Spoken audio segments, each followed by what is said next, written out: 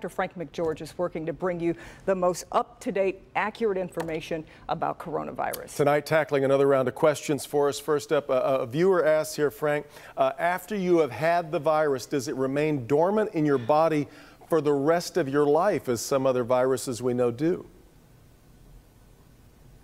Well, Devin, that's an important question. No, it doesn't. In fact, most of us will develop immunity to the COVID-19 virus after an infection. And that's actually why some researchers believe that convalescent plasma of people that recovered might have antibodies that could be infused into sicker patients to help their immune system. The big question that we don't have an answer to at this point, though, is how long our immunity would last. It probably would not be lifelong. Yeah. That's the only yeah. thing. Well, we've got a, a question that we wanted to ask to you from a viewer.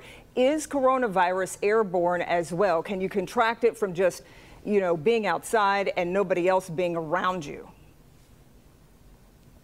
Well, yes, the virus can be transmitted by droplets and finer aerosol in shorter distances. And that's why we emphasize a six foot distance interval between people. Now, being outdoors where the air is constantly moving and being replaced by fresh air is even safer. It's a similar idea to why we use negative pressure rooms in the hospital. It pulls potentially contaminated air out of the room so it does not enter other areas. And of course, the best ventilation in the world is fresh air. Yeah.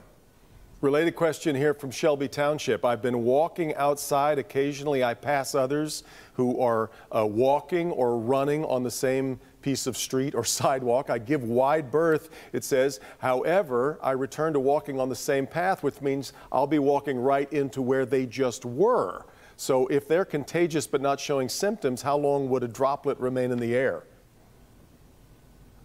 Well, so the droplets don't remain in the air that long, especially if they're walking outside. Any light breeze will quickly move them out of the air. So I wouldn't worry about walking outdoors unless someone is very close to you within six feet and actively showing symptoms. Yeah, good question. And we appreciate all the questions from our viewers. Yep. Keep them coming. all right, Frank, we'll be right back.